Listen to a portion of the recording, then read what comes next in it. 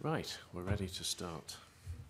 Um, so can I welcome members to the 28th uh, meeting in 2017 of the Delegated Powers and Law Reform Committee. Um, Alison Harris has submitted her apologies. Uh, can I welcome uh, Bill Bowman to the meeting as a substitute? And can I also welcome Michael Russell, uh, Minister for UK Negotiations on Scotland's Place in Europe and his officials to the meeting. Um, so the first item on our agenda is declaration of interests. Uh, in accordance with section 3 of the Code of Conduct, can I invite Bill Bowman to declare any interests relevant to the remit of the committee? Uh, thank you, convener. I have nothing to add other than what is in my register of interests. Okay. Uh, agenda item 2 is decision on taking business in private. It's proposed the committee takes items 8, 9 and 10 in private Uh, those items are the delegated powers provisions in the Social Security Scotland Bill, the contents of the committee's report to the Education and Skills Committee on the delegated powers in the Children and Young People Information Sharing Scotland Bill, and consideration of the evidence it will hear from the Minister, uh, Scottish Environment Link and RSPB on the European Union Withdrawal Bill. Does the committee agree to take these items in private? Okay, so move on to agenda item three, the European Union withdrawal bill. Um, so we're considering. Uh,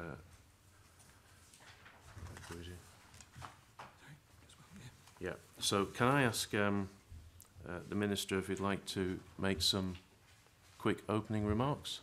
Very, very briefly, Convener, and thank you for the invitation to be here. I know you will have plenty of questions, but simply to stress one important point. Uh, Uh, we are very keen uh, to differentiate between the technicalities of leaving the EU, uh, which require the withdrawal bill at Westminster to be enacted, and the policy of leaving the EU, with which we profoundly disagree. Um, but insofar as our questioning uh, today is concerned, uh, focusing on the bill, then what we're trying to do is to find a, essentially a modus vivendi with Westminster uh, in order to take this issue forward. It's been difficult and it remains difficult, but the uh, JMCEN meeting, which was held last uh, Monday in London, made some progress on the issue of frameworks, which are covered in Clause 11 of the bill, and I'm happy to speak about that if questioned about it.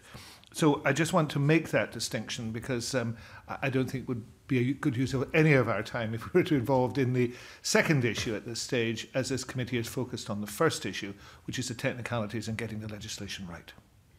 Um, right, thanks, Minister. You're absolutely right. We're not concerned here with uh, with the policy uh, rather than uh, the technicalities. Um, um, can I can I just ask you to outline your your general concerns uh, about the bill? Uh, they lie in two areas. I mean, there are many concerns, and you know, quite clearly there are things in the bill which uh, many of us would take exception to, and it's the subject of I think over 300 amendments at Westminster so far.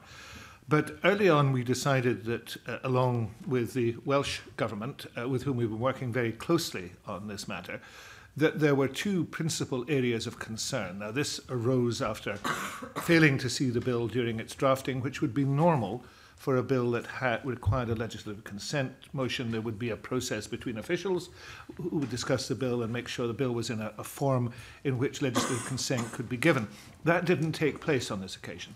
So when we were shown the bill, which I think was at the very beginning of July, um, with the bill due to be published in the middle of July, we uh, expressed extreme concern over two issues, as a result of which I met with David Davis the following week but we couldn't persuade the UK government, nor could the Welsh, to make changes to the bill at that stage. And these two areas are as follows. Firstly, Clause 11, which takes the powers that exist in the EU to do with devolved areas, it's so-called a list of 111 items, and transfers those to Westminster rather than to the devolved parliaments. Uh, and that is unacceptable as far as we're concerned. And I think there's been a broad level of agreement that that is unacceptable across a range of political parties. And that's an ongoing issue. And the second one is to do with the so-called Henry VIII powers. Now, we have concerns about the exercise of those powers and the breadth of those powers, and no doubt we'll come on to that. But there is a specific issue with those powers in terms of the powers that are given to Scottish ministers. They are different uh, uh from the powers given to UK ministers. And the powers given to UK ministers include the ability to change Scottish legislation without consultation with the Scottish Parliament uh, or the Scottish Government. Mm. And that would be unacceptable to us. So those are the two principal areas of concern. We can talk about a variety of other issues which we find difficult. But in our approach to this, we decided very unusually to prepare joint amendments with the Welsh Government. It's the only time it's happened, the only time we've ever jointly proposed amendments to a Westminster bill focused on the areas of most concern. Uh, other matters, the individual political parties, Labour, uh, the Liberals, the SNP, Plaid, the Green MP, have all brought forward amendments the bill, as have some Tory MPs. But those ones are the ones which we have focused on, and those amendments have been tabled in the House of Commons with the support of all the opposition parties. Okay. Can I can I ask you um, a, a little about uh, this meeting uh, last week where, where there was a statement came out about common frameworks, um, which I must say I found, personally found quite quite positive that there had been such a statement. Um, so I take it, I mean, you were party to that. Mm -hmm. um, you accept that there needs to be common frameworks. I've accepted there needed to be common, some common frameworks since we published Scotland's Place in Europe last December. The issue is not frameworks. The issues are who decides on what subjects those should be required, um, how those frameworks are governed, and how decisions are made as a result of those frameworks. Those, those are the issues, not the frameworks. Uh, you know, there are some things which we will not need frameworks for. Both sides agree. There are some things that we're likely to need some frameworks of some sort. But those can't be imposed, and they have to have an element of co-decision making. If you're dealing with matters that are devolved to the uh, Scottish Parliament, then the Scottish Parliament is not going to give those up. It could choose to share decision making in those matters, but then the UK would have to decide that they were going to do that as well. So that's the issue. The positive nature of last week's meeting was that we managed to agree on the principles uh, which would guide our decision making. We are then moving on to look at exemplars in, the, in a number of areas agriculture, um, the legal one, Um, yeah, uh, Justice and Home Affairs. Justice and Home Affairs, and the Welsh Government has asked for something on food labelling uh, because they don't deal as much with Justice and Home Affairs as we do. We will then look at those as exemplars to see if we could agree a governance structure. So we've made a, a small step forward, but we are genuinely trying to make that step. But we could not, and I, I stress this again, we could not bring a legislative consent motion at the present time because we could not consent to the bill as drafted, and particularly clause 11. Okay. Um, I'm, I'm just going to ask you, I'm, I'm going to read a bit out from this statement um, Mhm. and see if you can help me here. Um, it, I'll just read it. Frameworks will respect the devolution settlements and the democratic accountability of the devolved legislatures and will therefore be based on established conventions and practices, including that the competence of the devolved institutions will not normally be adjusted without their consent. What, do you th what does that phrase mean, not normally? Um, as far as we're concerned, it means it will not be adjusted without our consent. The word normally was applied in the last Scotland Act, if I'm correct, uh, with regard to the Sewell Convention. The expectation then was that it would be a binding commitment by Westminster. It turned out rather unfortunately, and I don't want to be too unkind about this, that uh, the Advocate General made much of the word normally during the Supreme Court hearings to say that it was a meaningless word and it had no meaning whatsoever.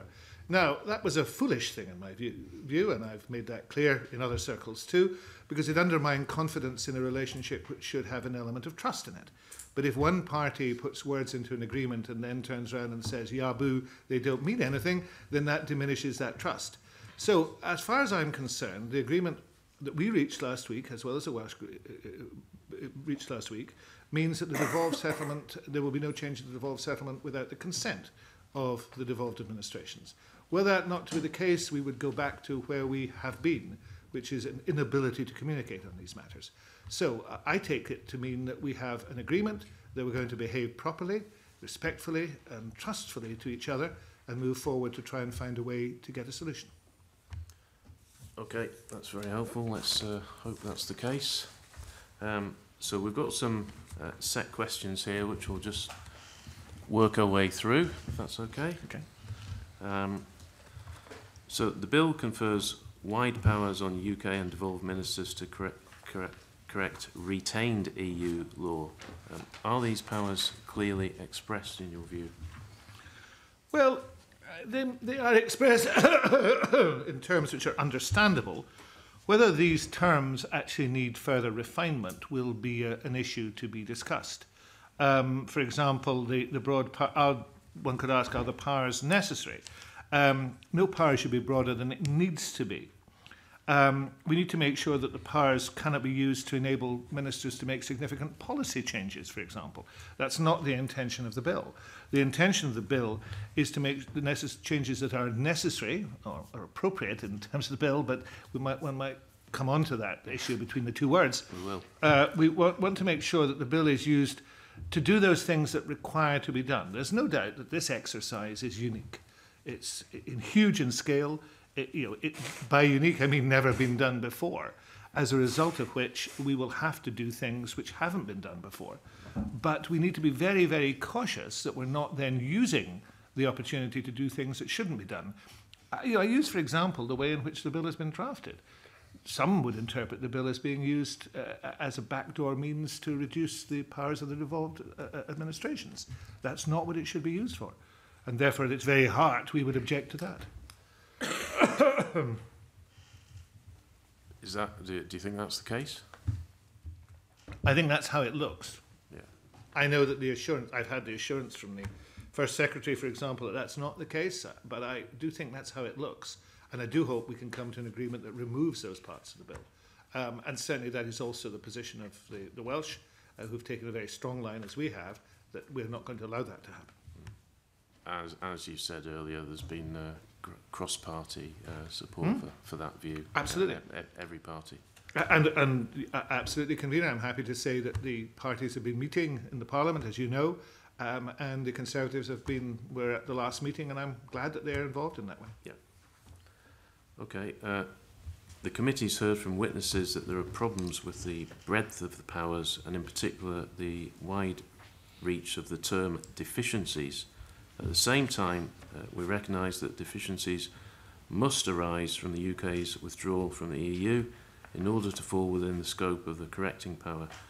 Uh, how do you think the powers could be improved?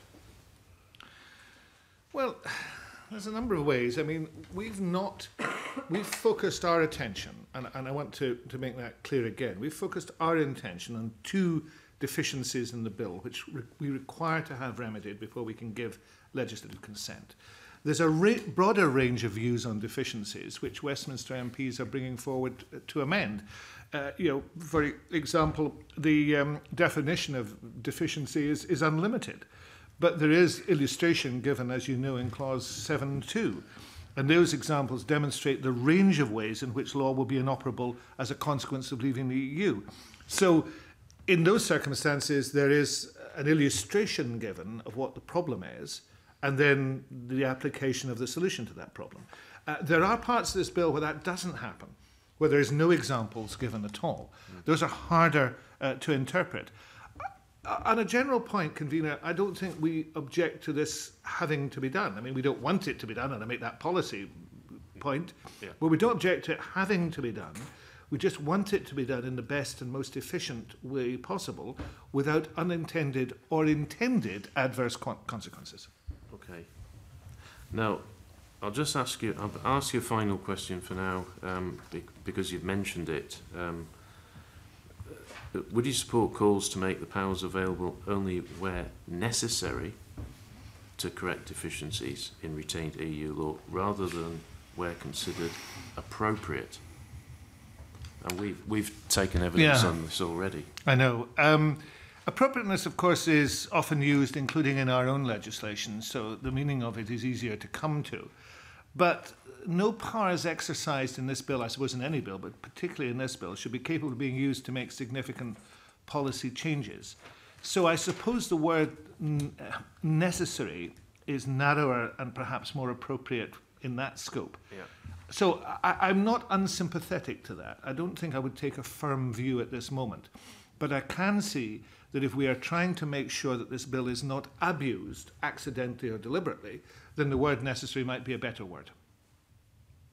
Yeah, although both words uh, allow for some flexibility. Yeah, uh, necessary probably uh, defines it more narrowly, and therefore, by defining it more narrowly, perhaps uh, uh, allows a, a degree of confidence to be gained in how the powers might be used.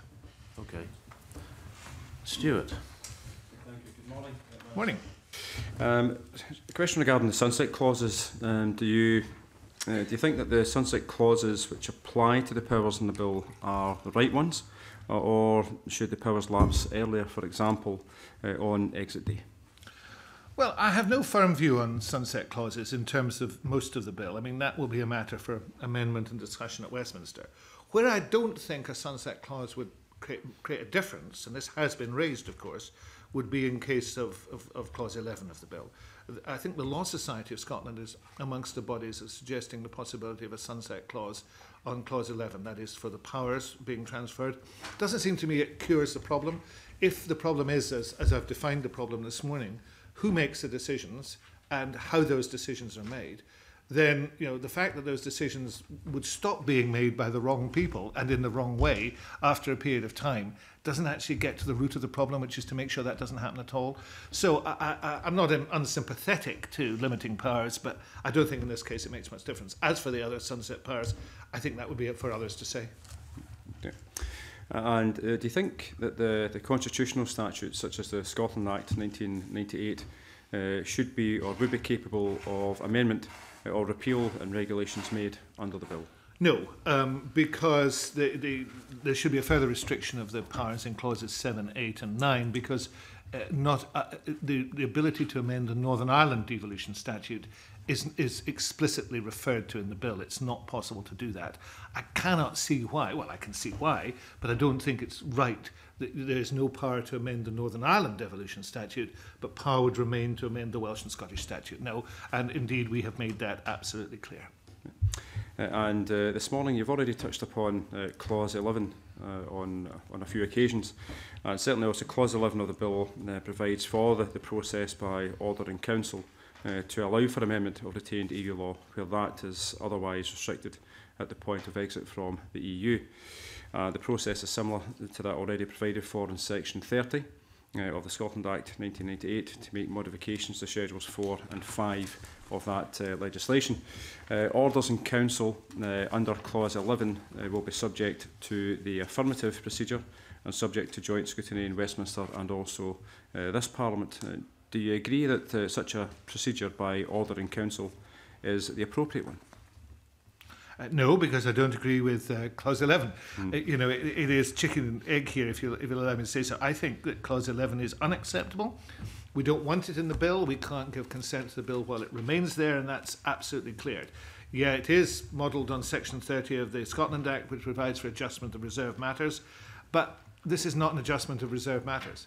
This is a clear point of principle that at the time of withdrawal, uh, the powers should come to the Scottish Parliament. That is also consistent with the political arguments at the time you, you know, um, the, the campaign, the Leave campaign, made much of the fact that these powers would come directly to Scotland. So it is not only breaking that political promise, but there's also something quite wrong about it, and it's confusing the process of devolution. You know, and at its heart, this is the core problem. Uh, devolution is, is built upon a simple foundation that, that those matters that are not reserved are devolved. Now that's been, you know, the founding principle, it's worked very well. This clouds that, in fact it contradicts it. Some matters would become reserved and devolved. It's not a, a good workable way forward. It's wrong constitutionally. The bill should not have been drafted in this way and we want it removed. And that is a common position with Wales. It is also the position across the political parties in Scotland. So I do hope that that will prevail. I mean, there's no harm in people saying, look, we didn't get that right, we're just going to take this out and do something different. And that's exactly what we would want to, to happen. Uh, I mean, certainly further to that, uh, obviously the delegated powers and regulatory uh, law reform, sorry, the regulatory reform committee in the House of Lords, uh, they also have a, a similar position regarding mm. that clause 11. Uh, it is very hard to find anybody who supports clause 11 except, uh, I have to say, the, the current go government. I've not heard the argument put uh, um, that this is the right thing to do, and indeed all the examinations have taken place of it have indicated that it shouldn't be there. So, I mean, you know, given the consensus, and the consensus, as the convener has pointed out across this Parliament, which exists on this, I think there's an overwhelming case for it to be removed and for this to proceed in a more sensible way. Uh, well, in order uh, for that aspect to uh, proceed, uh, what uh, alternative process uh, would you suggest um, to this committee that could actually be considered? Well, you know, where we are at the moment in discussions indicate that with the removal of Clause 11, um, then there, there are a range of ways in which cooperation can take place on frameworks, some of which already exist. You know, there's already legislative co- cooperation on issues. Uh, memoranda of understanding are another way. Um, joint working is another way. In those areas where it requires legislative underpinning, and it may require it, for example, in the area of agriculture, which would replicate what the Council of Ministers structure is now, then we are very keen to discuss how that would work uh, so that there is co-decision making. And I go back to that word again. There needs to be, in, in areas which have legislative underpinning, a co-decision making process.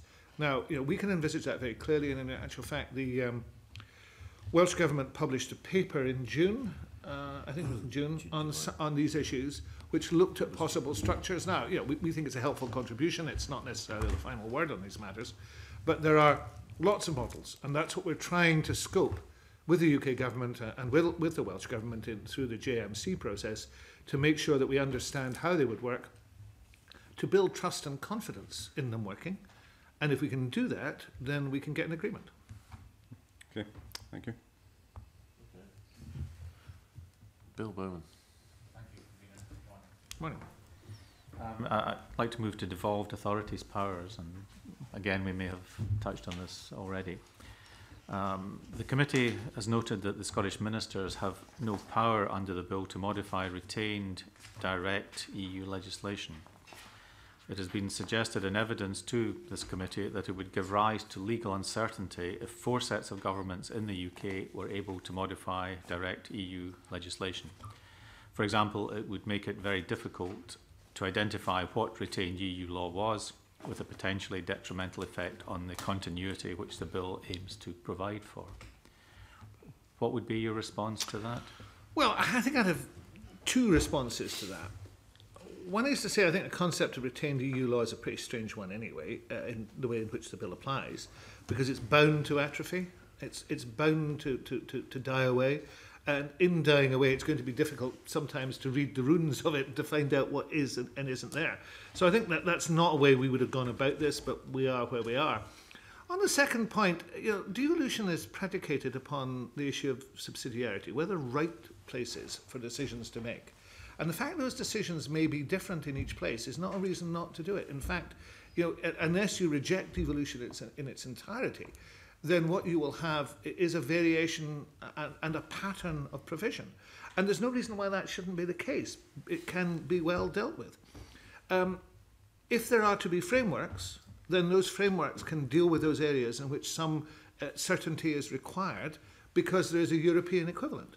You know, for example, in, in, in agriculture, we can use agriculture as an example, but actually there's also diversity in the agricultural provision. Because there is a degree of diversity in how things are delivered, you will see, for example, that um, eh, less favoured area payments exist in Scotland uh, don't exist in the vast majority of England. So there are differences in the way things are done. That doesn't actually affect or change the way in which agriculture is understood within these islands and people can practice you know, their business. So I I don't think having difference is necessarily a problem, particularly if there is coordination. And we've always agreed on coordination through a variety of mechanisms. And I've indicated the convener you know, just a few moments ago what those mechanisms are. You can go from the very loosest type of coordination, which simply is a recognition of difference, uh, perhaps with a mem- memorandum of understanding, right through to legislative coordination through agreed structures. So I I think it's all possible to do. It's based on the approach to devolution that exists, and particularly if that approach is underpinned by a simple principle that what's reserved is uh, uh, and what is devolved. And that's the problem with this bill. It confuses that principle. So you need the coordination to make that work. Where you need coordination, you should have it. You don't need it everywhere. There's already uh, many areas where it doesn't uh, take place. I mean, I know Damien Green used the example of um, a jam manufacturer in Dundee wanting to sell his uh, jam in um, Newcastle. Now, there's nothing in this bill uh, that either helps or hinders that. The reality is that with the present situation, there will be no difficulty in that jam manufacturer selling whatever he wants in Newcastle. It is actually the UK government that's going to make it more difficult for that jam manufacturer to sell it in Nantes rather than Newcastle. But that's another matter. Well, I recently bought um, Mackay's marmalade in Faro, so uh, perhaps. Uh, Well, I just hope you can continue to do so after 2019. well, always, Staple produce, I'm sure. always happy to mention Dundee anyway. Um, I'll move to a shorter question then. Are there powers available to UK ministers under the bill that you think should be able should be available to Scottish ministers? That's a very interesting question. Um, I think there are powers available to UK ministers which we cannot agree to, and that's one of the core issues, which is to change uh, Scot law in Scotland uh, without reference to the Scottish Parliament. Um, so I think one has to make sure that those powers are equalised. But I also think, and we may want to come on to this in more detail later, I also think we need a mechanism to make sure that these powers, if they are to be exercised by Scottish ministers, are subject to appropriate scrutiny uh, and control by the Scottish Parliament. Uh, and therefore, we need a mechanism to do that. That's why uh, my officials are in contact with and talking to parliamentary officials to try and find the way in which we can do that. I indicated, that, I think, as you know, in the statement I gave to the Scottish Parliament on the 20th um, uh, of September that I'm entirely happy uh, for those to be found. I indicated in evidence to the, the, the, the Finance and Constitution Committee, and we are now putting forward constructive ideas about what those powers should be. So I think, um, and that's paralleled by views at Westminster of the powers to UK ministers, I think that these powers require a, a degree of more scrutiny than this bill gives them. Well, maybe just a, a, sort of an aspect of that. I believe there's no procedure which allows Scottish ministers to make regulations urgently, although there is such a procedure available to the UK ministers. Yes, I, I think one would require to have some evidence uh, to hand that those powers were actually required. Uh, and I think that's probably the needed the emergency procedure issues um, may be necessary in Westminster terms. We don't know as yet. There's no illustrations given. Um, I think it would be, if they are necessary in, in Westminster terms and we can have that proved to us, then maybe that amendment should be made to the, the bill. But we don't really know that at the present moment. So would you suggest that Scottish ministers should have that I don't think I'm in a position to do that because I don't think we know precisely what these powers are and how they're going to be exercised. But if they were to be proved to us by Westminster ministers and through the usual official channels that there was a likelihood of these being used and there was a necessity for them to be used, then I think it would be appropriate for Scottish ministers to be able to exercise them in Scotland in the way that UK ministers would exercise them in the rest of the UK. Thank you. Um, Stuart again. So you mentioned a few moments ago regarding the, the co-decision mm-hmm. um, making, and certainly the bill provides a choice of three different uh, routes uh, to be exercised uh, in terms of the powers of uh, correction, uh, i.e. regulations made by the UK ministers acting alone, the regulations made by the devolved authorities acting alone, and also regulations made jointly by the UK ministers and the devolved authorities. Uh, what factors uh, will determine the choice uh, of the route to be taken? Well, I, I, that's intriguing, and I think we would only know that in the, the light of the issue that arose. But we've been clear that it's inappropriate for instruments to be made in relation to devolved Scottish legislation without the involvement of the Scottish Government or Parliament. That's the principle that we would apply. So we think one of those routes of being made by UK ministers without any consultation is not a route that should be followed. So you remain, you know, there are two routes that then remain, co-decision making or individual decision making. On co-decision making, I think um, we would there are areas that we presently have involvement in terms of joint legislative or joint administrative action. And we would apply those as required. I mean, those are areas which I suppose, taking another, we don't have a- means of legislative consent to secondary legislation here, but that does exist in Wales. I'm right in saying that? Need to check out this. I, I, I think this is this is therefore an ex cathedra pronouncement without support from officials, which is dangerous. I think there is a type of mechanism in Wales which allows um, legislative consent to secondary legislation because the Welsh Parliament has dealt more with secondary legislation up until now than primary legislation. We don't have that procedure. So maybe one would require to develop that procedure to look at secondary legislation that had uh, was being altered by um, uh, joint decision making. In terms of our decision making, then it's quite clear those decisions are made, they should be scrutinised. The issue, which I've, I've just been responding to Mr. Bowman on, is how we would scrutinise that and what type of scrutiny we would develop here, which was perhaps stronger than the scrutiny being applied at, at Westminster. And we'll, we'll, work with, we'll work with the Parliament on those issues. Uh, we will obviously want to get those right. Um, Section 557.1 of the Scotland Act allows EU obligations to be implemented in devolved areas. That's an example of how we might work. Sorry, Stuart and uh, Bill Bowman Okay. was itching to come back. The, the sunshine is blinding me coming from the minister. I want to do I thought it was the clarity of my argument that was making you look away, but there we are. Yes. There we go. Thank you. Sorry. I'm very rarely accused of dazzling people, but thank you for that. yes. Right.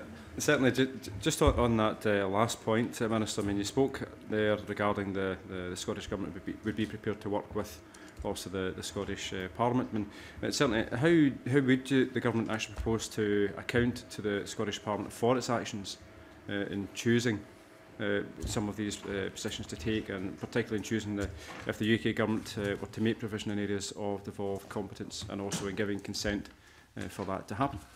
Well, I think what we're talking about, we go back to this issue of developing appropriate methods of scrutiny within this Parliament that are acceptable to this Parliament. I'm sure this committee would have a significant role in, in making sure that those were developed and implemented. And you know, we are presently having those discussions and bringing forward ideas. Uh, I, I mean, I'm very keen that we actually do that. Uh, there are lots of issues in there. Um, just to, to, to touch on one or two of them, there could be Pre-laying, there could be flexible use of existing processes, there could be new scrutiny procedures, there could be modification of committee structures and sitting times. All of them are possibilities to create opportunities for increased scrutiny. Now, those are the things, and others, which are being put on the table in discussions. I think the appropriate place for this is discussions between government officials, Scottish Parliament officials, coming up with recommendations that both sides can support and taking that both through the government and the parliament processes. That would seem to be the right way to do it. Um, look. Uh, if I may, there, the Minister mentioned Section 57 of the Scotland Act, which is an existing example of the UK government being able to implement EU obligations in devolved areas. That is at present only done uh, at an administrative level after bilateral consultation and with the agreement, the formal agreement of the Scottish uh, ministers. Scottish Government guidance on the use of this section requires that the relevant portfolio minister, when giving consent to the implementation of an obligation through Section 57, should write to the convener of the Scottish Parliament Subject Committee that deals with the subject matter, and also to the convener of the European and External Relations Committee. And at, at present, that is the mechanism by which ministers are held accountable for their decisions to agree to the use of Section 57 in that way. I expect that these will be the sort of mechanisms that are being discussed at official level between uh, government and parliamentary officials to cover the, the, the similar issue that's raised by the proposal in the Scottish Government, Welsh Government amendments that Scottish ministers' consent should be required before the UK Government can make regulations in devolved areas. Okay. Oh, thank you. That's helpful. Can you, can you explain um, for, for the record, for our uh, army of viewers out there, uh, what, what, Section 57 is? Sure. Uh, on devolution, most existing powers of the UK of UK ministers to make provision in devolved areas were lost, and those uh, powers were transferred to the Scottish ministers. What Section 57 does is it preserves the ability of UK ministers to continue to uh, implement EU obligations even in devolved areas. This is because an EU obligation applying the same way or very similarly between Scotland, England, between um, reserved and devolved matters will, would apply very similarly. Um, there's no parliamentary procedure provided for the use of Section 57 in the Scottish Parliament on the face of the bill, but in practice, the Scottish Government, um, Scottish Minister's right, as I explained, to both subject matter conveners and to the European and External Relations Committee convener.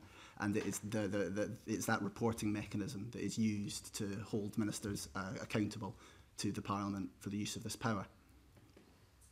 Thanks very much. Right, I'm going to come back to uh, the point you've just been talking about, Mr Russell, which is par parliamentary scrutiny, which obviously this committee takes extremely seriously.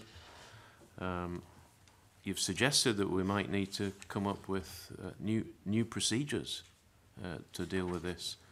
Um, have you given any thought, um, or has the Scottish Government given any thought uh, to how it might enable uh, Parliament uh, to decide between using the negative or, or, or affirmative procedures uh, for regulations under the bill?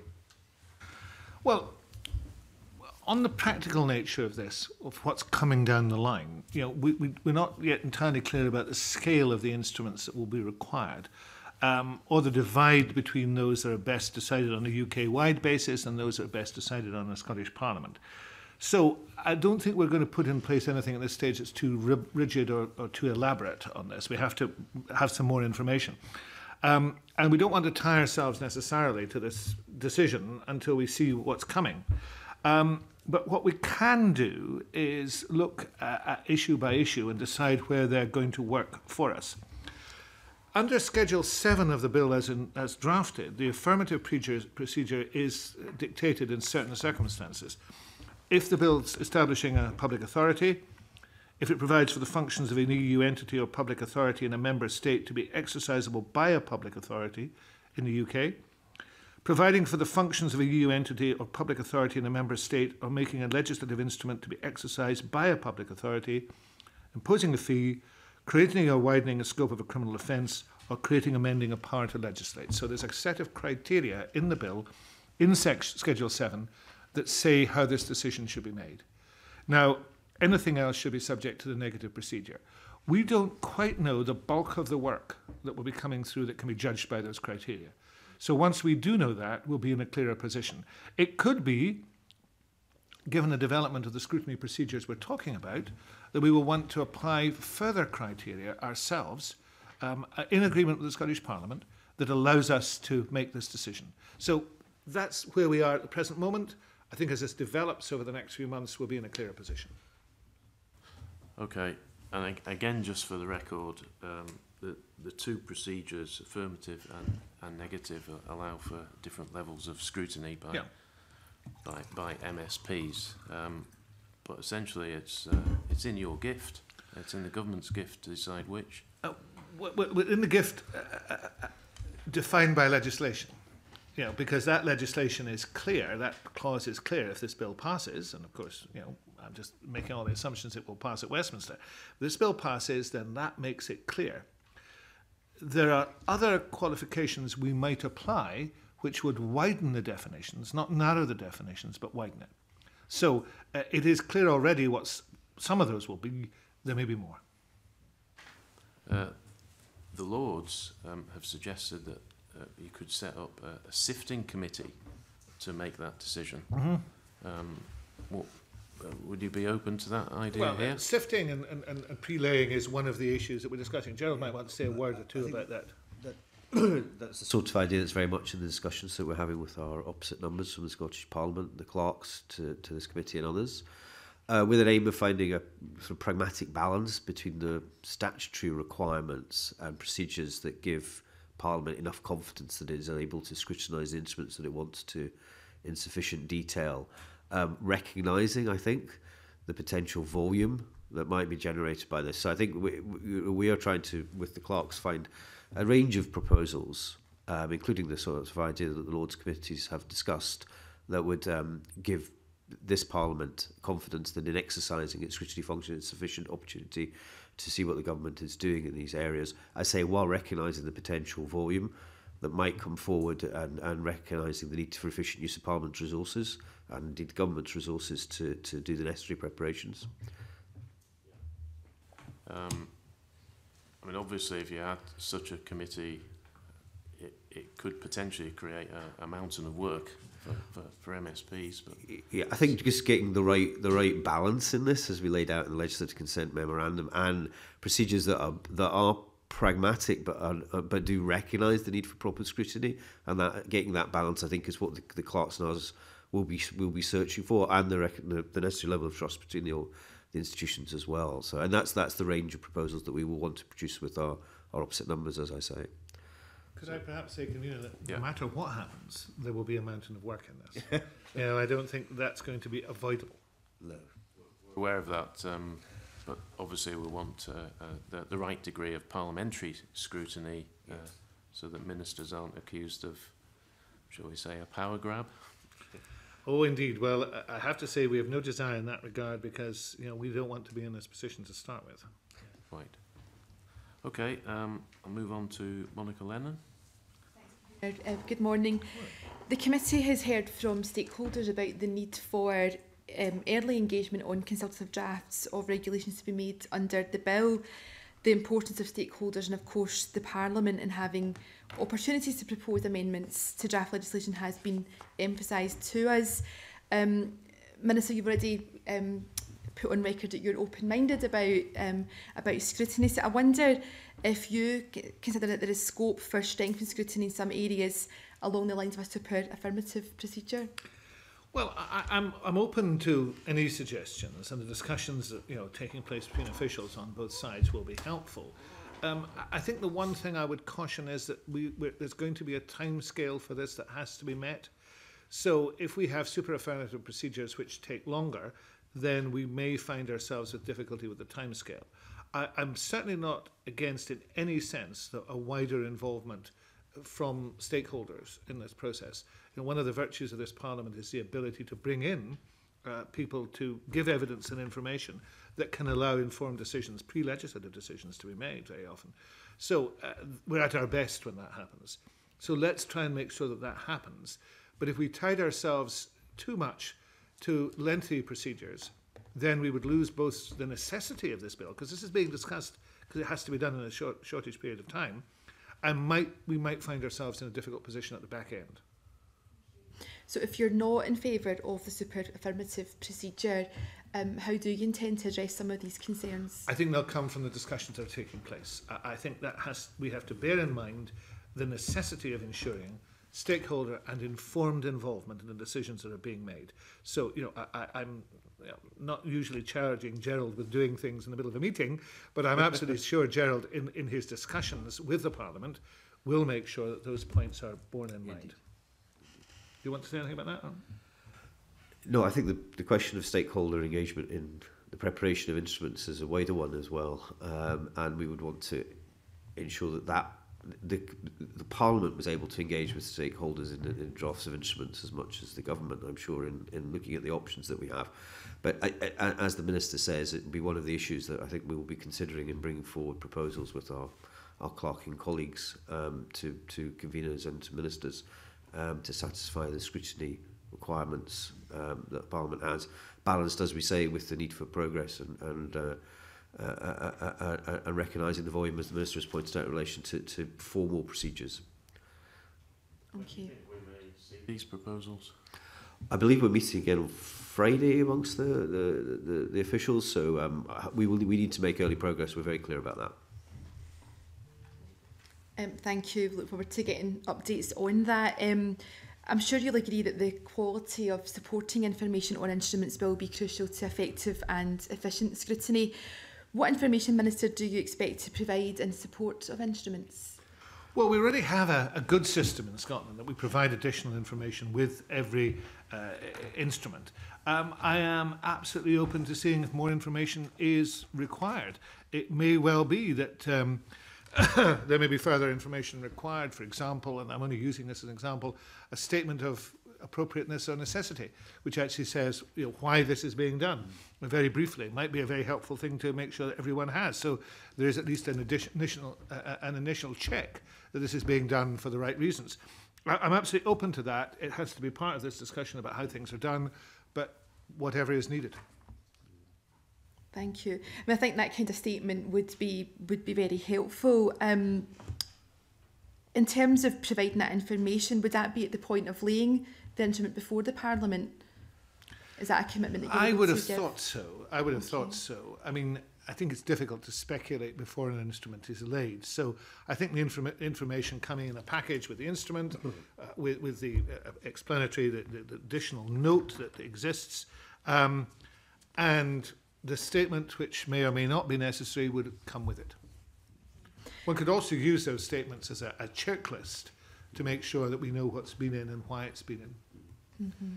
Okay. and a couple of ideas that we had listening to, to stakeholders was that you know that could include an explanation of the existing EU law, mm-hmm. the reasons for um, and the effect of the proposed change, but also a summary of the consultations that have been carried out. Again, is that something that you would yeah, open I, to? I, I think we should make sure that people have as much information we can give them within the time scale needed.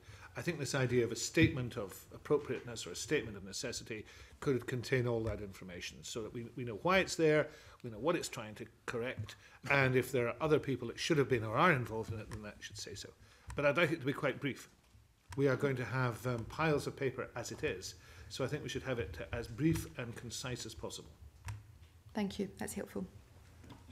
David Torrance. Thank you, Convener. Good morning, Minister. Um, on the sheer Scaleway project, what information can the Minister give to committee about the work the Scottish Government is undertaking to prepare the anticipated volume of secondary legis legislation required in relation to UK's departure from the EU? Well, I'm working very closely with the Minister for Parliamentary Business to make sure that, that we have a, a, an integrated legislative programme. We're not, despite the mountains of work that's going to come, that these mountains are at least, uh, you know, not too scary. So we're trying to get that all together. Well, officials across the Scottish Government in each portfolio are working to identify the secondary legislation that we'll need to consider over the next two years, well, next 18 months in actual fact. We need better information sharing from the UK Government. I, you know, and I say this regularly, we're not having enough information sharing from the UK Government. If we get better information sharing, this would help us, because at the end of the day, this is going to depend on uh, what the process is that's being adopted at Westminster, because some of this will depend on what Westminster is going to do. But you know, we're working on it. Um, how will the Scottish Government work with the Parliament and the committees tasked with the scrutiny of the legislation to keep them informed? Well, I've indicated to, to Monica Lennon some of the, the documentation. Uh, we obviously want to let you know and the Parliament know as soon as possible what the anticipated volume is and then to break that volume down. I, I know that the Minister for Parliamentary Business is due to give evidence to you later in the year. I would have hoped that he might be in a position then to let you know and because we're working on it presently and I'm quite happy to make a commitment to keep you informed as this develops. The committee has heard from witnesses about the importance of the UK ministers and the Scottish ministers and the respective officials working together on the handling of secondary legislation project, in particular given the potential for overlap and the sequencing of issues involved. Is there a cross-administration steering group? And if so, will the Scottish Government provide a commitment to keep the Parliament updated on the progress and decisions of that steering group? Well, we already have the JMC, which is essentially what you're talking about. The JMC structure is meant to cope with that. The JMC structure consists of a plenary of the First Minister and the, of the Prime Minister and the First Ministers, and other ministers as required. There's a sort of side shoot of it, JMC Europe, which deals with the uh, upcoming European Council. Every time there's a European Council, JMC Europe is meant to meet two or three weeks beforehand to look at the agenda. It's a sort of clearinghouse. There's a JMC EN, the, the new part that was established last year, which is European Negotiations, which is the meeting that was held last week but hadn't met for eight months. But underpinning it is a JMCO, which is the officials group. Now, the officials group has lots and lots of different strands to it, and they meet and talk about these matters.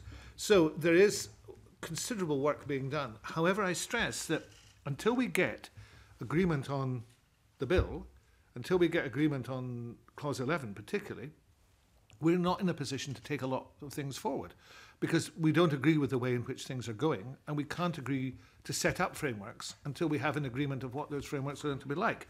So there's been a slight hiatus in that. But there is discussion going on about the, these issues in terms of the detail of the bill, and those will continue. And officials will bring that information to ministers, and presume to UK ministers as well as to Scottish ministers, and we will react accordingly. When we know things, we'll let the committee know. I mean, you know, there's no interest. We have no interest in hoarding that information because we recognise that the burden is going to fall on committees. So that's where we will go. Thank you. So, I guess the upshot of all this is we want to get to a point where the Scottish Parliament uh, can agree the legislative consent motion and, and the Welsh Assembly uh, so everyone can agree to this. How confident are you that we'll get there? I don't know presently. Uh, uh, there's a clear route to it, which is for the UK government to change the uh, EU withdrawal bill, to remove clause 11 and to accept the amendments that we have put forward with the Welsh, in those circumstances, we can get there. If that does not happen, then we will not bring forward a legislative consent motion. That's where we are. Um, we are talking. You know, I've met, uh, John Swinney and I have met with Damien Green and David Mundell twice. Um, I've spoken on the phone separately to Damien, Damien Green and to David Davis, clearly. Um, There's now been a meeting of the JMCEN. We're promised another one before Christmas. The bill is uh, moving more slowly than had uh, been anticipated. It's not, I think, due now in the Commons probably until after the November recess, and the Commons is a week in November that they're off. So the 13th of November is about the earliest date it will come in. It's going to be very tight to get that bill through before Christmas, um, which is what their stated intention was. But you know, we have time to resolve this because we don't have to bring a legislative consent motion until the last amending stage of the bill, and that's the House of Lords um, uh, final stage, and that we thought would be in January, but it's likely to be later now. Could be in February. So we've got until then to resolve this. If we can get this resolved, then we can bring that legislative consent motion. If not, we can't. Okay. Um, obviously a lot a lot of amendments. Uh, I haven't seen them. You you probably have, um, but um, presume some of them deal with the points that you've been making. Uh, well, it, let me just define clearly what we're talking about here. There's the joint ones between the Welsh and the Scottish governments. Uh, you know, those are the ones we're interested in. Those are the ones, if passed uh, or equivalents passed, we will bring forward the motion. That's been clear. However, um, there are lots and lots and lots and lots of other amendments on a whole range of things. Uh, Charter of Fundamental Rights, for example, which I profoundly agree with, but we've been clear in our scope. So there's a range of amendments I'd be delighted to see passed, uh, but you know, as far as we're concerned, it's the Welsh and Scottish ones that we're focused on. Just out of interest, you, your amendments and the Welsh amendments, who submits those? They have been tabled. They were tabled by uh, a group of MPs, uh, Labour, um, representing Labour, SNP, Plaid, Liberals, uh, Greens, uh, have all been involved in, in tabling them. Uh, so it's a cross-party a- activity. And I was pleased to see uh, Keir Starmer at the weekend identifying the six key issues in the bill, one of which was the devolved uh, parliaments and their uh, rights. And therefore, therefore, clearly, those amendments have the backing of the parliamentary parties that I'm talking about. Okay. Um, and you'll be aware, because there was a statement last week, uh, that there was a committee um, set up, um, actually, by, by the Lords um, of parliamentarians, including myself, uh, from uh, across the, the, the four nations, um, who are essentially saying we want to get to that point where we can agree that L LCM And I, I'm pleased that that's the case. And I think if um, those who have influence with the current UK government can bring that influence to bear, then all the better. Thank you very much. Uh, any members, any other questions? Okay. Can I thank you very thank much you. for your time?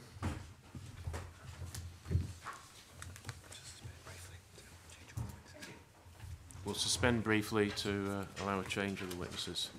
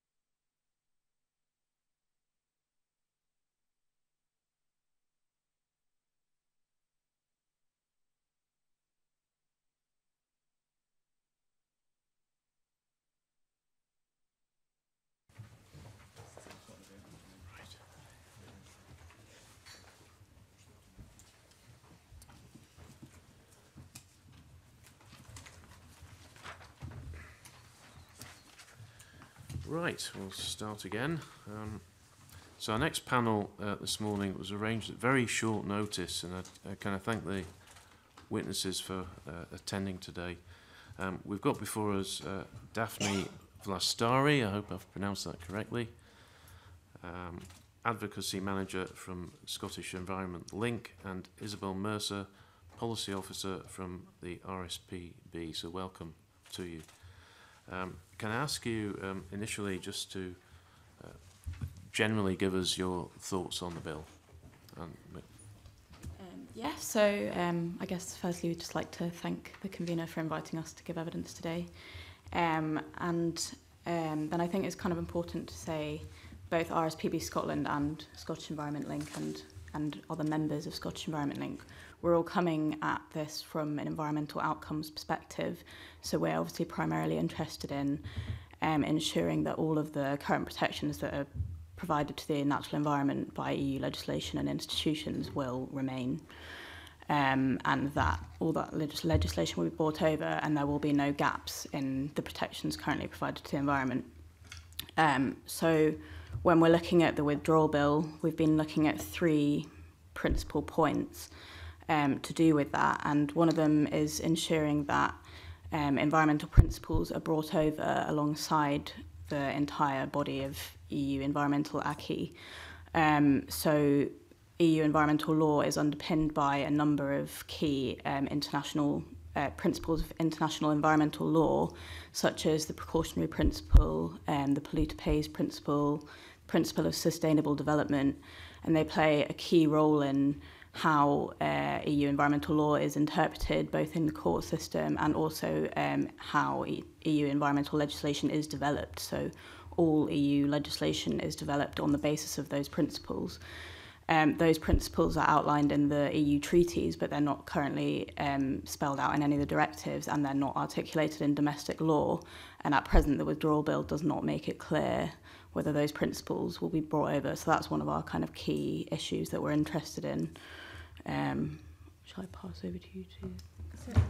Um, so indeed, thanks for having us. Isabel, I think, outlined very clearly what some of our um, concerns are with regards to the bill. We see the necessity of it, but at the same time, there are some gaps that need to be addressed. The aspect of um, EU law that needs to be converted into domestic law is obviously very important. And retained EU law, as it will now be called, needs to have the status of primary legislation.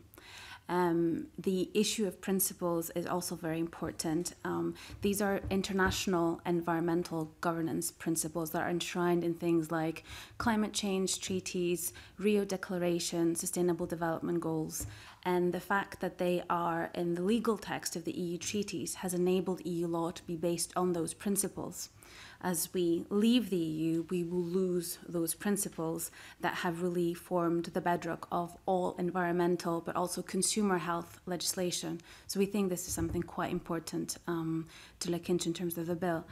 The other aspect, and I think um, there was some reference to sort of different bodies and duties, is the fact that we have identified a very important governance gap um, with the sort of exit from the EU. Um, so the EU bodies at the moment perform a variety of um, roles from gathering and monitoring of data, you know, supported by the national agencies, to really, um, you know, recourse to the Commission and the ECJ when we find that um, EU law is not currently implemented.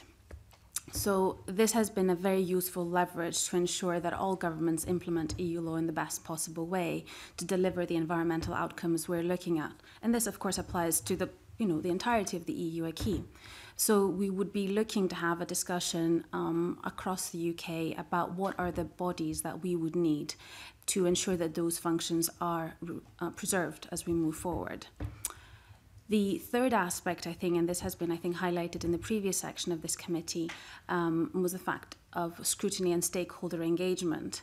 Um, I think going forward, if it is about you know the different SIs that will need to be looked at, if it is about the potential UK frameworks that we would be looking to implement, uh, what we would like to see is a clear mandate for um, transparency, scrutiny in terms of the involvement of Parliament, but also substantive stakeholder engagement. And I think there were references to the joint communique earlier today. Um, I think one of the points that really um, we would like to highlight is the fact that there is really no reference to stakeholder engagement. And I think unless we can have a public and transparent dialogue, we will not get at the best legislative outcomes. That is it from us. Thanks. I'm just quickly looking through that communique, and uh, I think you're absolutely right. there was no reference to. I would hope so. Otherwise, my reading Yeah. skills are. Um, Stuart, you've got a question. Uh, yes. Um, uh, thank you. Good morning. Um, so in the RSPB uh, um, submission, the final paragraph um, also highlights the issue of the, well, uh, certainly kind of what you discussed there regarding the oversight um, and the lack of clarity in the bill about the status of the retained EU law, and also you've touched upon that a few moments ago. Uh, and you've also suggested that now the, the, in terms of when the law comes over, that it should be done by primary legislation. Um, in your estimation, how many how many pieces of legislation would that actually be in terms of primary legislation? Well, the estimates that we have is that about 80% of current environmental laws are um, EU laws. Um, obviously, there are some that are already part of the Scottish statute in the forms of directives. There's other which are regulations. Um, I think there was a communication by um, Michael Gove um, to the relevant committee in Westminster that provides some information about the statutory instruments and the amount of, piece, of you know work that would need to be done. Um, we haven't done, you know, we haven't collated that evidence ourselves, but I would be happy to forward you. Um, or, you know, that letter, which I assume you already have, but we are talking about a substantive amount um, of statutory instruments that we would have to look into. Uh, uh, but I, mean, I I, am very sympathetic to uh, to your suggestion in terms of uh, the protection uh, of the environmental laws. Uh, generally, I'm very sympathetic, uh, but the the aspect, excuse me, the aspect that uh, that I am aware of is uh, we have this, uh, this one bill going through the, the, the process at the moment. And it's anticipated about another 13 bills after that, uh, and then certainly for this Parliament potentially up to about 300 uh, pieces of uh, secondary legislation. Uh, and if yourselves are suggesting that uh, environmental legislation should be primary and not secondary, then that would be over and above, I would imagine, uh, Yes. what's already been discussed. So let me clarify, perhaps I was unclear. I think we're looking to ensure that the EU retained law that is part of our domestic system has is given the status of primary law so that it cannot be changed by secondary legislation in the future. So that, w let's say, if we decide uh, that there's a need to change something about environmental protections, that this would need to go through the full process of parliamentary procedure um, rather than be amended um, kind of without any scrutiny. So we're not seeking to kind of pass by primary legislation all pieces of EU law, but rather to grant them the status of primary legislation and the same securities that come with that. Hmm, Okay. Um, okay, so in terms of uh, in terms of that, then, um, what, uh, well, how, how many uh, how many pieces of legislation would you expect that to be? Again, we don't have a firm number, as you probably know very well. Uh, the majority of EU environmental mm. law is, you know, it's about 80% rather of environmental law, it comes at EU. This is a complex um, sort of matrix of directives, regulations, and other decisions. Uh, so it's a bit hard to give this a number. Uh, as I said before, the approximate estimates that about 80% of our Yeah. legal um, sort of texts come from the EU when it comes to environment. Sure. So I guess just to kind of emphasise the, the key point is more just we're interested in the future safeguarding of Yeah. those pieces of legislation, making sure that you know, any future government isn't left able to make changes to secondary legislation, which could then have far-reaching implications for the environment. Uh, uh in terms of uh, my final question on this area, in terms of that, uh, would you uh, would you accept um, uh, an interim position whereby, in order to get the, the legislation transposed over, firstly, and then with maybe kind of a, a period of time, just for talking sake, within a five-year period of time, then anything that has been transposed over in terms of secondary legislation would then uh, go into uh, kind of a primary legislation uh, aspect. Would that be something that uh, that, uh, that you would consider or, or, or accept? I think we would need to perhaps get some legal clarity um, on this and what are the, the possibilities because um, the withdrawal bill aims to bring over all mm. EU law Um, obviously, if the withdrawal bill itself includes clauses, that means that we can amend with very limited scrutiny the content of that EU retained law. That means that we're opening ourselves to a lot of potential changes, mm. intentional and unintentional. Mm. Um, so I think our point is that to meet the uh, goal of the bill, the withdrawal bill, we'll choose to keep the protections when it comes to environment, the environmental protections, then we need to ensure that EU retained law is given the status of primary legislation. Um, to our understanding, this doesn't mean that we sorry, that we have to sort of pass again legislation to give it that status. But perhaps that is a point that we can get some legal clarity on in terms of the possibilities. Mm, yeah. I do want to stress I am genuinely sympathetic to uh, yeah. also what it is that you're suggesting, uh, but I'm also conscious of the uh, well, certainly well, the work that goes through uh, this committee uh, and uh, and the scope of the Uh, uh, what's ahead of us, uh, not just here, but certainly well UK-wide in terms of the, this legislation. I think perhaps what we can take back as a point is to come back to the committee on this point just to clarify the implications of that request, also in terms of the workload, so we can come back to you with a sort of sure. more precise response. Okay, that, that'd be helpful. Thank you.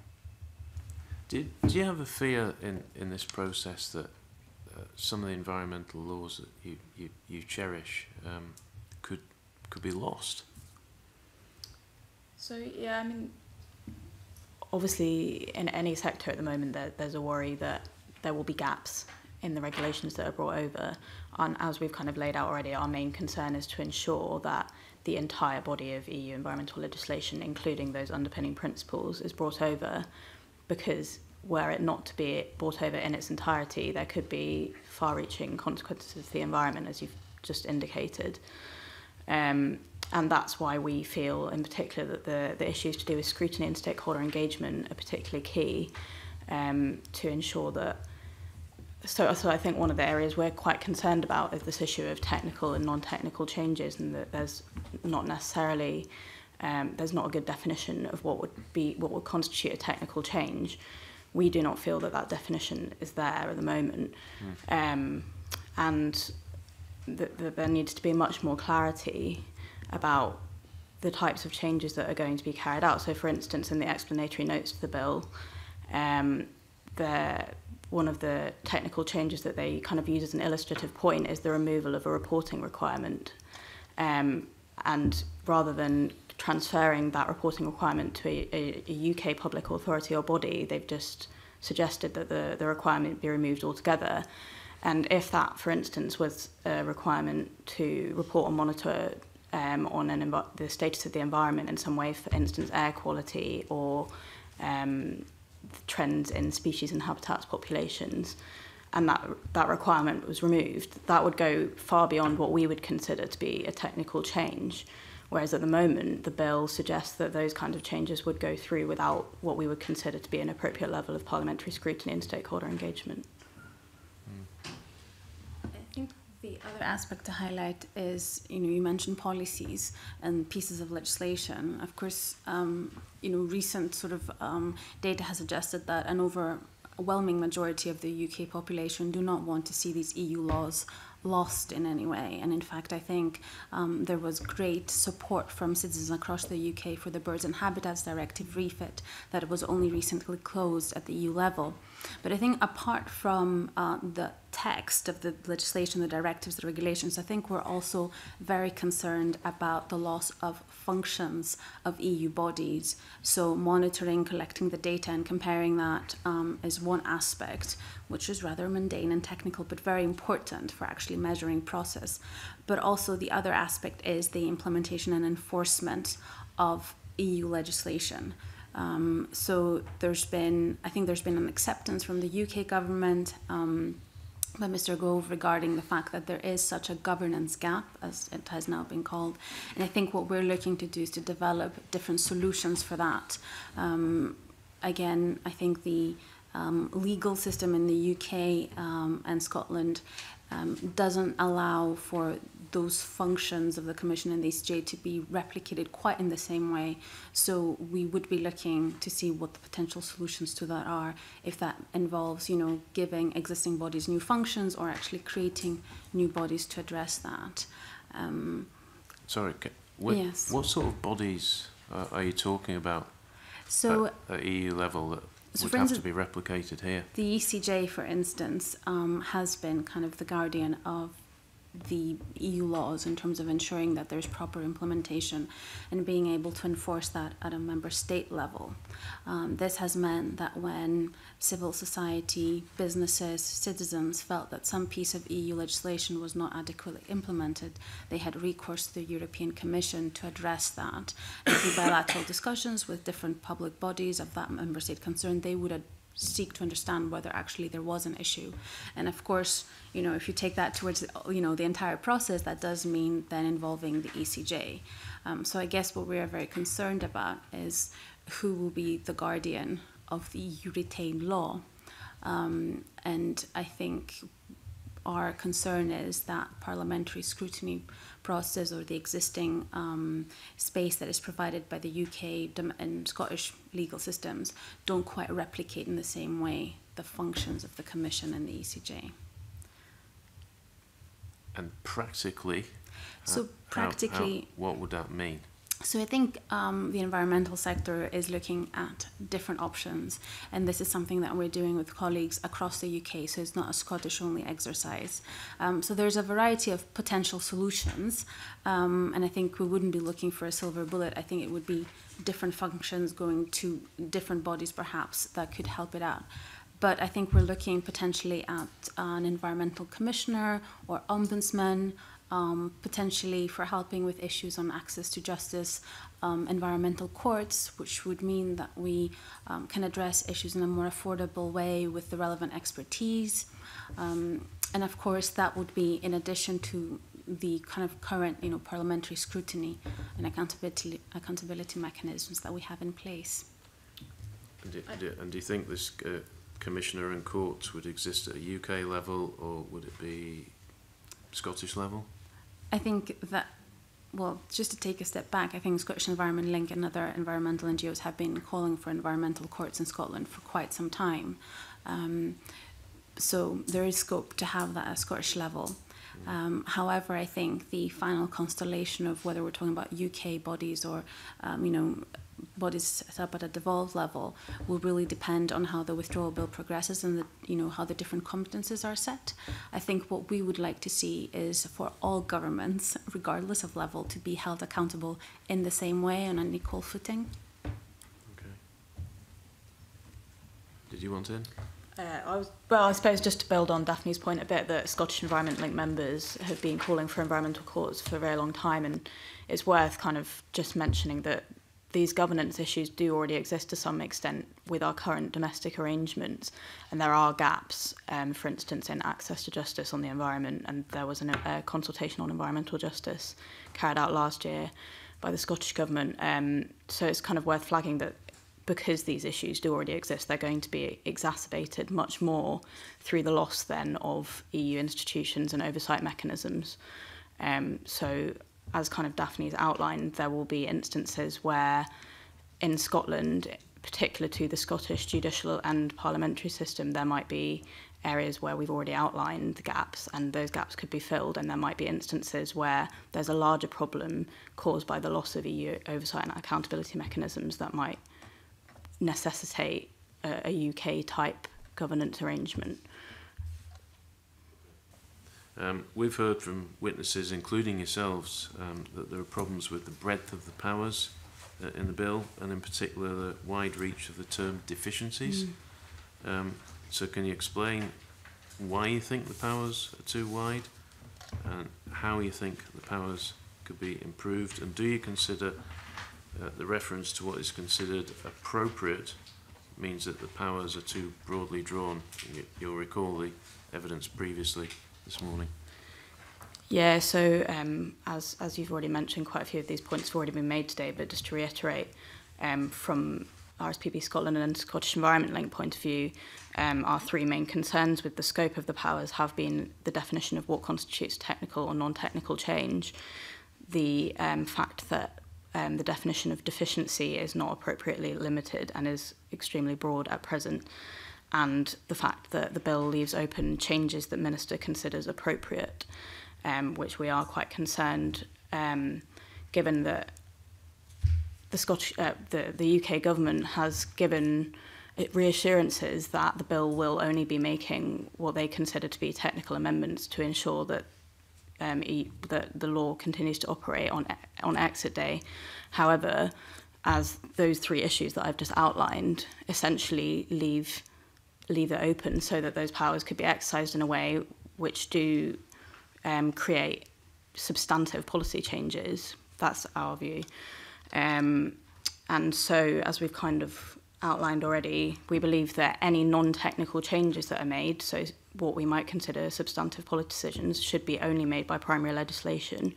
And in order for those to be identified, um, as has already been kind of suggested today, there might be some sort of sift and scrutinise mechanism that's put in place so that different statutory instruments can be um, sifted through and it can be identified where some where they are just a technical change and where they may be a non-technical change and in those instances where there might be a uh, non-technical change, they could be given increased scrutiny. Do you want to? Um, we've got some questions on devolved authorities' powers. I wonder if one of the members would like to take that. Perhaps yourself, Bill. A different question, if sure. you if you don't mind. Um, just listening to what you were saying, are, are you saying that the the EU law that is now here and is now will be transferred into UK law. And I'm presuming we're not really speaking about Scotland here, we're talking about the general you know, UK law, can't operate without scrutiny, of, you know, without having these um, um, European bodies in, in place. Think what we were saying that for it to be operating on the same level as it does today, you need to also replicate the mechanisms of enforcement and monitoring that are currently exercised at an EU level through EU bodies. Um, I think you know copy pasting the text, uh, if you like, is is Well, it exists as it does, does at the moment, in effect, doesn't? Well, it also relies on a lot of EU bodies carrying functions. Um, I think this is why there's a relevant clause in um, the withdrawal bill uh, about assigning functions currently exercised by EU bodies to new or existing bodies. And I think that actually hints at the fact that there is a bit of a governance gap there. However, that power also allows them to abolish or remove those functions entirely, which is obviously something that we might be quite concerned about if some of those functions were being proposed to be removed. So if it might help to give an example of the type of functions that we're talking about, um, obviously something that's been had quite high profile in the media is air pollution, air quality regulations. Um, and Client Earth has twice taken legal action against the UK government through the EU institutions in order to ensure that they do withhold their commitments under the EU legislation. Um, and so one thing that we are quite concerned about at the, at the end of the scale of looking at enforcement and compliance and at, at the other end of the scale is things like monitoring and reporting. But if you're talking about enforcement and compliance, there will be a gap when you're looking at how the executive is held to account on its commitments because there won't we'll be losing things like the um, mechanism of the EU Commission for citizens and organisations in the EU to bring free complaints forward. that There isn't really a, a mechanism that exists in Scotland or in the UK as a whole, um, a kind of forum where NGOs like ourselves or individuals could bring a complaint about uh, the executive not withholding, not standing up to environmental commitments. I thought it was the UK courts that took the government to task on the air quality. It, it was uh, European, so it was done through the UK courts, but using the European legal system. And you say you want to replicate, so you would put the exact same um, procedures. It was, I think, um, Daphne was that who said. I think we're looking to ensure that the functions that are useful and you know have been helping us actually improve our um, environment, but also in terms of public safety, because really these things apply to a wide variety of kind of sectoral legislation. But I think what we'll be looking to do is uh, try and see where we can replicate some of the functions. Uh, we're not saying you know bring this everything back to the UK or the Sorry, I thought level that was what you said. um, we would like to see how tho- those functions can be replicated at a domestic level um, and whether existing agencies such as CEPA or SNH, for instance, could take some of the, um, you know, responsibilities carried out at the moment by EU bodies, uh, whether other bodies would be needed to carry out some other functions. Um, I think what we are doing right now is highlighting that there is an important governance gap, a gap that has been acknowledged also by the UK government. And I think what we need is to look into the potential solutions to ensure that, you know, we will have a functioning statute book as of the date of exit. Okay. Um, So who would like to take questions on devolved authorities' powers? I come in on that point of scrutiny. Sure. Um, in your evidence that you, you've given that you're calling for a robust scrutiny system and more engagement with stakeholders, um, so would you consider that there's scope for strengthening scrutiny in some areas and the lines of a super affirmative process, by which I mean consultation period on a draft order before the order is laid before the Parliament and subject to approval? So I think that would be one of the options. Um, as you can appreciate, we would be looking to maximise the potential for stakeholder engagement. I think this means um, sort of maximising the time that the committee has, any committee has, to look into the instruments that are being laid before it, um, opportunity to, um, you know, just as we've done today, you know, bring stakeholders to engage with them, ask them questions, provide evidence. Equally, you know, um, be able to uh, call on ministers to come in and provide evidence, and also the possibility for that committee that would be looking at the relevant um, uh, documents uh, to be able to recommend to ministers to relay with recommendations taken into account from that committee. Um, so these are some of the sort of issues and points that we would like to see um, forward. Thank you. Thank you. Any other questions on that, on scrutiny, David? No? Stuart? I can do the Sure. Mm, okay. Thank you. It's uh, certainly the, the committee uh, notes that uh, the Scottish ministers have no uh, power under the bill to modify retained direct EU legislation, and it's been suggested in evidence that uh, it would be that would give rise to legal uncertainty if four sets of governments in the UK uh, were able to modify retained direct EU legislation. Uh, for example, it would make it very difficult to identify uh, what retained EU law was, uh, with a potentially detrimental effect uh, on the continuity which the, the bill aims to provide for. Uh, so what uh, is your response to that particular argument and also the power in part one of schedule two that enables the, the Scottish ministers to make uh, changes to retained EU law which is EU derived domestic law? Uh, are there restrictions on ministers' ability uh, to revisit uh, those changes later and make further changes? So um, I think that's quite a long question, so I might ask you to repeat some of parts of it. Okay. But um, I think just generally our starting point is that uh, this is a very unique um, um, process that we're going through. It's never been attempted, so obviously we're identifying issues that are, as they're coming up. Um, our starting point, however, is that we want the devolution agreement to be fully respected. Um, and that we want that any um, policies coming forward to be jointly developed and agreed. Um, this is just something that we think is very important in terms of ensuring environmental outcomes. Uh, we feel that when governments have a stake and invested in a policy process, then it makes them all the more likely to be successful and well implemented in the future, which is really where we are coming from at this point. So I hope that was helpful. Uh, so, uh, so I think that certainly, uh, I would suggest, kind of goes back to what we heard earlier from the Minister regarding the Clause 11 mm-hmm. um, discussion uh, and obviously the amendments that have been placed down at the, the House of Commons. Uh, I, I would assume that you're obviously lobbying the, the, uh, the MPs and, uh, and UK government uh, on, uh, on this particular area as well. Yeah, so um, RSPB and, well, uh, Scottish Environment Link and the other environment links in the UK, we're all part of uh, Greener UK, coalition of environmental NGOs. Um, so it's through through that organisation that we've been doing most of our engagement with MPs, um, and we will be um, we have been calling for um, any common frameworks that are agreed on environmental matters to be jointly agreed between all four countries, jointly developed and agreed, because as Daphne has outlined, we feel that that's most likely to lead to uh, the most beneficial environmental outcomes, legislation is more likely to run smoothly if it's been jointly agreed and negotiated rather than imposed. That's our view. Right. Certainly, I mean, uh, are there any powers available to the UK ministers uh, under the, the bill that uh, that you uh, should think that uh, would also be available to Scottish ministers? So I think our position is that we don't feel there's enough clarity provided in the bill about where Scottish ministers and the Scottish Parliament are expected to play a role and where they will be expected to create statutory instruments. So as you kind of already outlined, there's issues around um, certain types of retained EU law, like EU regulations, and whether Scottish ministers will be expected to create statutory instruments to amend deficiencies in that type of retained EU law.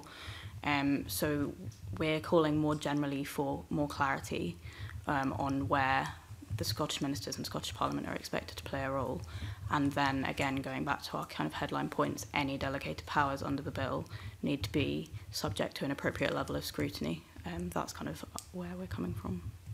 Okay. Uh, I mean, certainly, it's, uh, I mean, there is no uh, procedure which allows the Scottish ministers to, to make regulations urgently. And also we heard about that from the minister earlier on. Although there is uh, such a procedure available to the UK ministers, uh, do you think this is something that, uh, that could cause problems for ensuring the continuity of, uh, of law and environmental law? Uh, and if so, what would you like to see happen?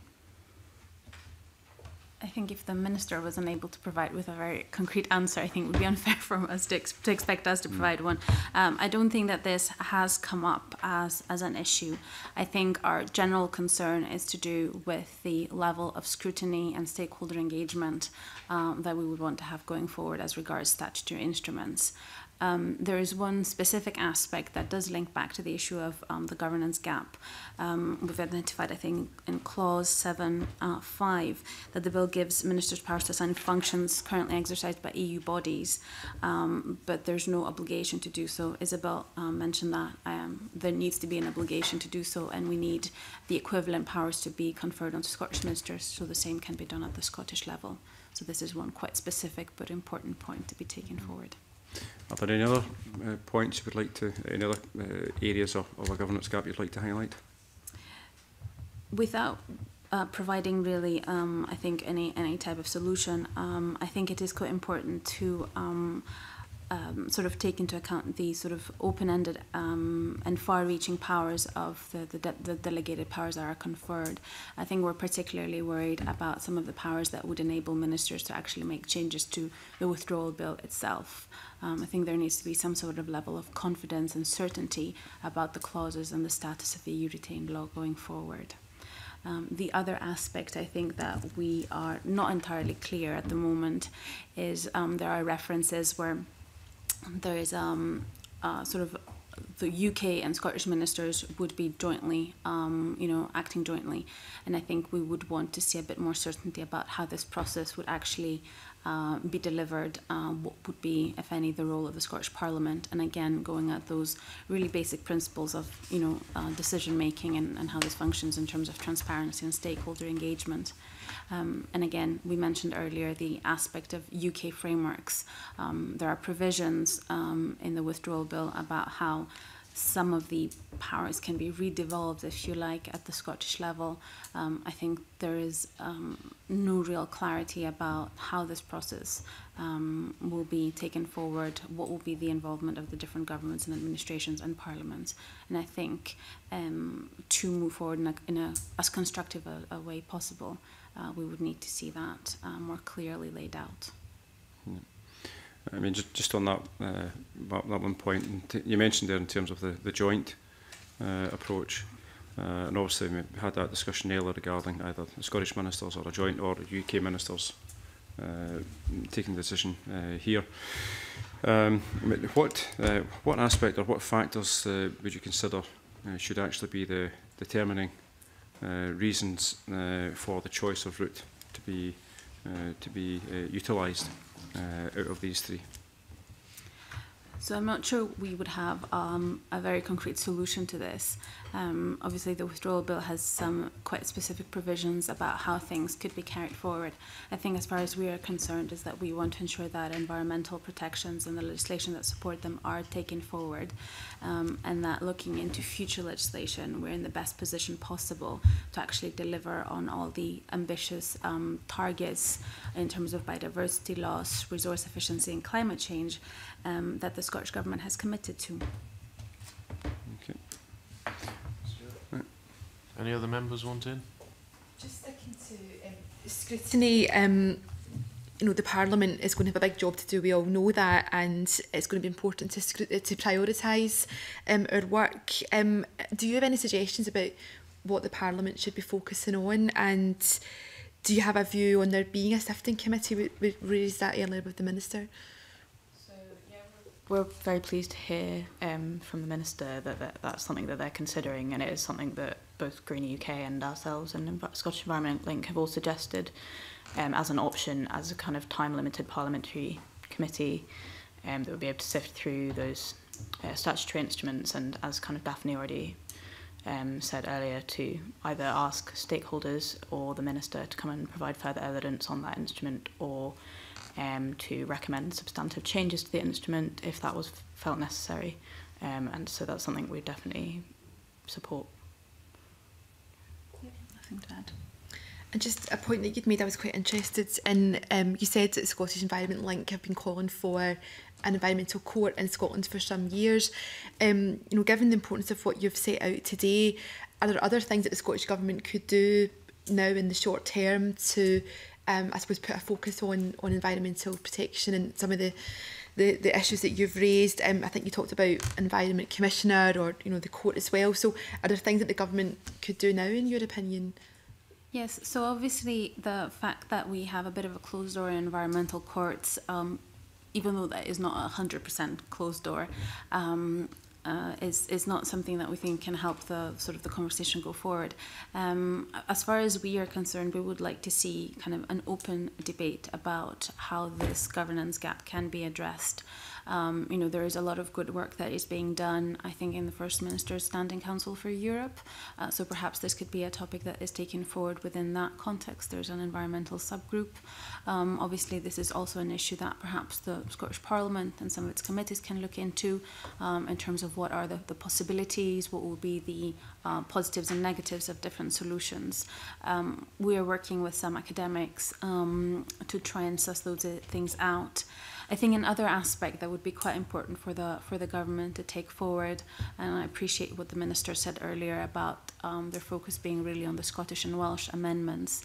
Um, but the Scottish government and Scotland has traditionally um, made a lot of use of these environmental principles, as we mentioned earlier, when it comes to the precautionary principle mm -hmm. and pooled repays. Um, I think it would only be fitting for the Scottish Government to actually support the maintaining of those principles at the UK level, but definitely at the Scottish level as well, and make that a key uh, argument in their position. Okay, thank you. Just briefly then, are they doing that strongly enough at the moment, again, in your view?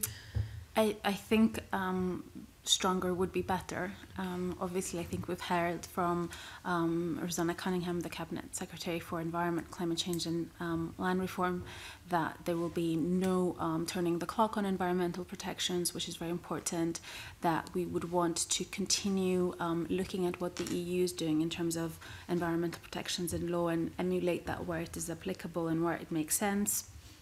Uh, and I think uh, Minister Michael Russell has made similar commitments.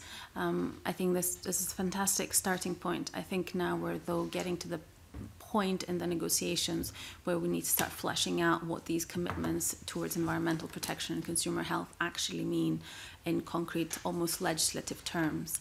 Um, and I think that would be quite important going forward. Thank you. Thank you very much. Any other members? Okay, um, I'd like to thank you very much for your time uh, this morning and uh, we'll suspend the meeting briefly. Thank you.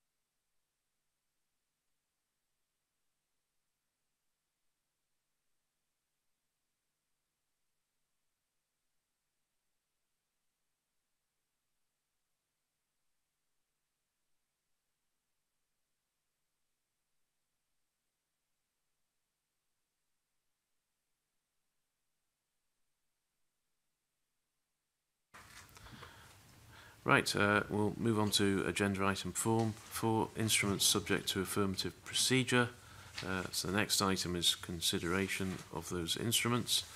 Uh, no points have been raised by our legal advisers on the draft telecommunications restriction orders, custodial institutions Scotland regulations 2017, the draft budget Scotland Act 2017 amendment regulations 2017, the Draft Pollution Prevention and Control Scotland Amendment Regulations 2017 and the Draft Fishing Vessels and Fish Farming Miscellaneous Revocations Scotland Scheme 2017. Is the committee content with these instruments? Okay. Agenda item 5, instruments subject to negative procedure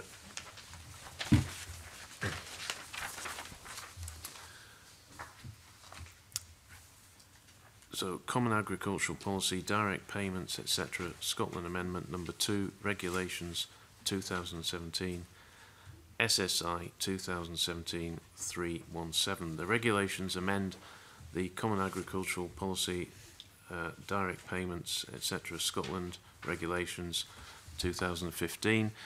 The amendments make provision to extend the deadline for relevant applications under the Voluntary Coupled Support Scheme – for ovine animals. The regulations were laid before the Parliament on September the 28th and come into force on October the 9th.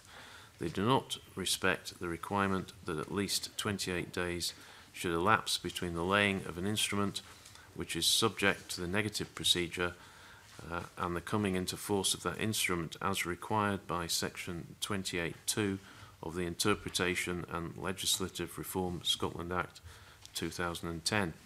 As regards its interest in the Scottish Government's decision to proceed in this manner, the committee may wish to find that the failure to comply with section 28.2 to be acceptable in the circumstances. The reasons for doing so are outlined by the Scottish Government Agriculture and Rural Economy Directorate in its letter to the presiding officer dated September the 28th.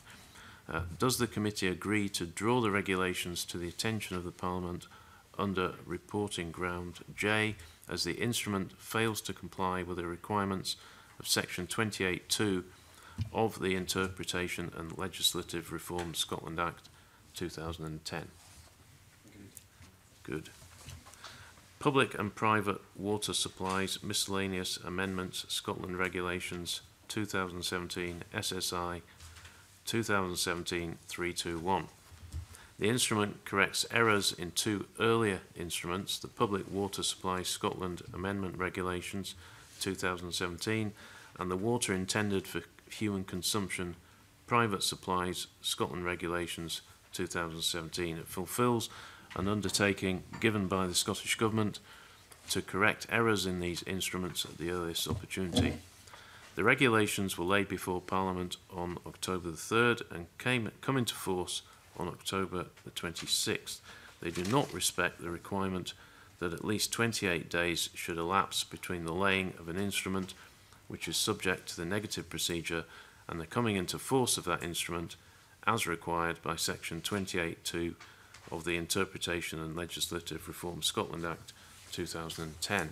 The committee may wish to find the failure to comply with Section 28.2 to be acceptable in the circumstances, the Scottish Government's Energy and Climate Change Directorate has outlined the reasons for the breach in its letter to the presiding officer dated October the 3rd. Does the committee agree to draw the regulations to the attention of the Parliament under reporting ground J because the instrument fails to comply with the requirements of section 28.2 of the Interpretation and Legislative Reform Scotland Act 2010. Thank you. Uh, no points have been raised by our legal advisers on SSIs 2017 323, 324, 325 and 329. Is the committee content with these instruments? Content. Agenda item 6, instruments not subject to any parliamentary procedure. No points have been raised by our legal advisers on SSIs 2017 322, 330 and 332. Is the committee content with these instruments? Content. Okay. Agenda item 7, Child Poverty Scotland Bill. We've got a paper before us that considers the delegated powers contained in the bill following amendments made at stage 2. One existing delegated power has been amended in line with the committee's recommendation in its stage one report. As a result, the power to make regulations changing the base date for the absolute poverty target in section 3 is now subject to the affirmative procedure. This is a higher level of scrutiny than the negative procedure previously included in the bill at introduction two new delegated powers have also been added as part of the new schedule to the bill. The paper before us suggests that the scrutiny for the power to make regulations in paragraph 32c of the schedule to the bill on access to information should be subject to the affirmative procedure rather than the, the negative procedure as currently provided. Does the committee agree to welcome the Scottish Government uh, has commended Section 3 of the bill in line with a recommendation in the committee's Stage 1 report? Okay. Does the committee agree to report to the Social Security Committee along the lines detailed in the paper? Okay. Uh, in particular, is the committee content to recommend that the power to make regulations in paragraph 32C of the schedule to the bill is amended to be subject to the affirmative procedure rather than the negative procedure? Okay. I now move the committee meeting into private.